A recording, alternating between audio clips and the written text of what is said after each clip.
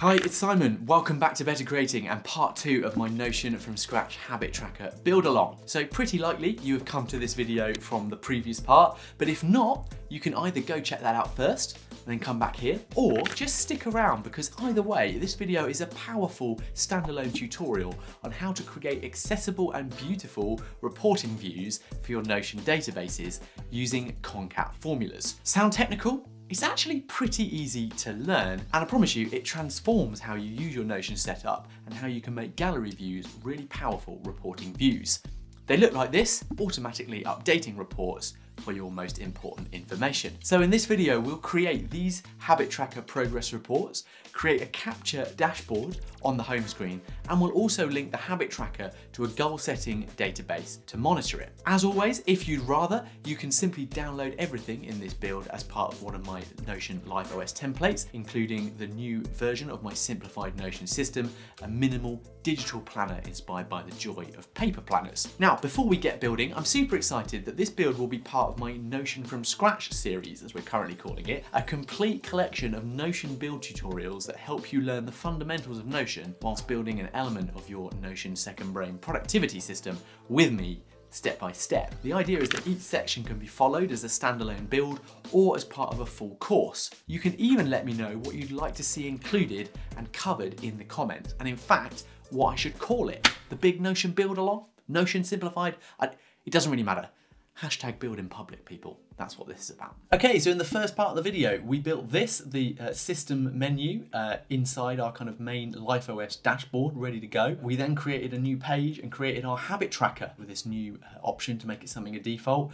We created our log, uh, and the way we calculate habits and our targets for those habits, and we created a progress bar along with this habits reporting view. Let's now continue, if I jump to the one I made earlier, we're gonna do this final section here, which is concat reports that creates these lovely views here, and even if I add a property here and show you that, we can even link it to a goals setting system if you have that or want to build your own. Okay, let's create those concat reports next. So add a new box and click on formula. And we're going to call this concat report. Now we're going to put in a concat formula here. So what we want to get back is the log and the total target in a text format. So concat will take the contents of two different columns into a new one and it can be combined with text. We're going to go in and we're going to go concat brackets. Then I want to go a reference to the log. So let's go up to our emojis and I'm going to put in tick and I'm going to put in cross. So we look at it and it looks good. Space, close it, so a bit of text. Then I'm going to format the log number into it. Put a comma between everything, that's what I've missed. Put the comma there, keep doing the brackets and you'll see it turns up. So we know that works. I'm going to reopen the concat, put another comma and add another bit of text. So we're going to do open the speech bubble, space of, then I'm going to add another thing, comma, format, and I want to put in total target, put the commas in. I can see that I've missed something, which is it needs a space after of. There you go, that's good. Open it back up again comma, open some text, space, completed. Close the brackets. Cool, so you can make that look how you like, and that is it. There you go, there's your report. Now, just to show you why that's so good, we go back here, we're gonna click again on the properties, have a little look at the properties. Now, if I just had my target per week, it would just be a number, whereas if I put the concat report in, we get a nice clean report. However, I discovered something on this the other day. If we go back to here and make the log for this empty, doesn't make a lot of sense. Instead, what we're going to do is we're going to do one more formula in here, which is going to be an if statement. And I'll show you how this works. We're going to go in here, click on formula, and we're going to call this, this is the one we're actually going to use, which is going to be called habit status. And into here, we're going to put if, open brackets, log is greater than zero, give me the concat report. Otherwise, which is just a comma, nothing logged yet. And into there, we could make it look good as well. Let's just check it works by putting a comma on the end. I didn't do a greater than, did I? That's better. Greater than is that. nice. And into there, we can put a little symbol of, why don't we say clock? Done. So let's just check that works by putting, there you go. That is why that is so useful. Now finally, I want to add to this system a way of uh, guaranteeing that you know the last time you logged something. So to do that, you're going to want to do one of two things. We're going to add a new column and we're going to go down to the advanced section and we're going to add last edited time. Pop that in and you can rename that actually to last updated if you want, which just makes it nice and clean. There you go, so that's the first section. What that means is that we can then use that information to do another concat formula to report on the last time that it was reported. So you'll see in my habit card report on the previous one I've made, you can make it look a bit like that. And this bit of text here, 1st of September, is taken from this data. Next, then we add a new column. Let's add in one more formula. And this is going to be last logged. So we're going to do concat.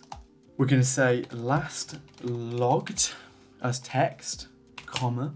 Then we're going to do format date. There it is. We're going to select the date, which was last updated. And we want to do that as dd mmm. There you go last logged on the 1st of September. You'll see it's not really looking right, and that's because I need to go into here, put a little space. And again, if you want to make it look nice, you can do that by using the emojis and symbols, uh, which is quite nice, like that.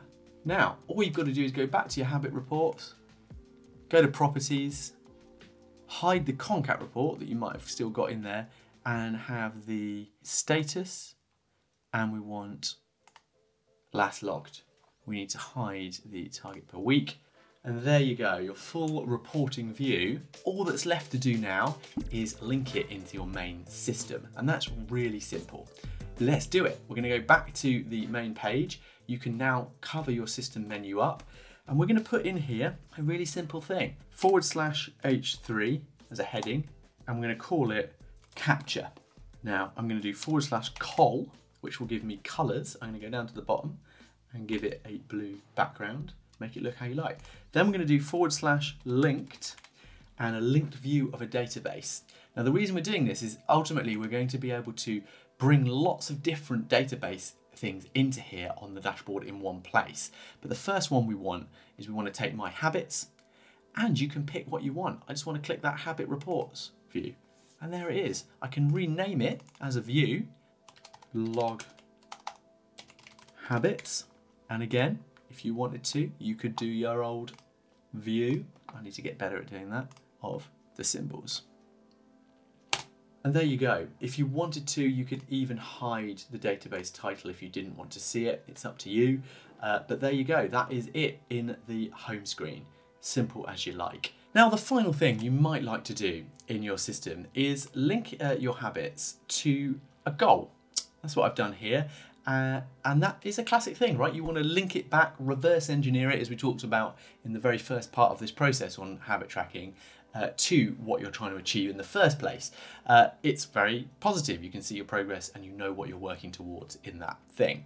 So the way I've done that is simply create uh, in my system a goals database. So let's do that now. There's obviously loads more we can do with this, but you can see here for each goal I have related milestones, projects which go into the project system, and habits when it was created and if I've achieved it. And obviously all of the uh, projects stuff here, interesting stuff, is for another video build. So if we skip back to uh, the system that we have been building, all we're going to want to do here is just do a forward slash database, full page. I'm going to call it my goals. Label here, goal. Call this my goals. And we're going to turn this one into a select and I would like to call this year. And we can just start to set up a system for the years that they're in. I'm not going to go into loads of detail here, but you get the idea. And why don't we call this one become fitter than last year? Fine, you get the idea. That's all I'm going to do for now. We can obviously make it look nice, a target, a cover, lovely.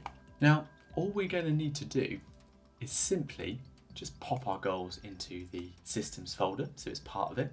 We want to add a new column. We're going to go to relation and link it to my habits.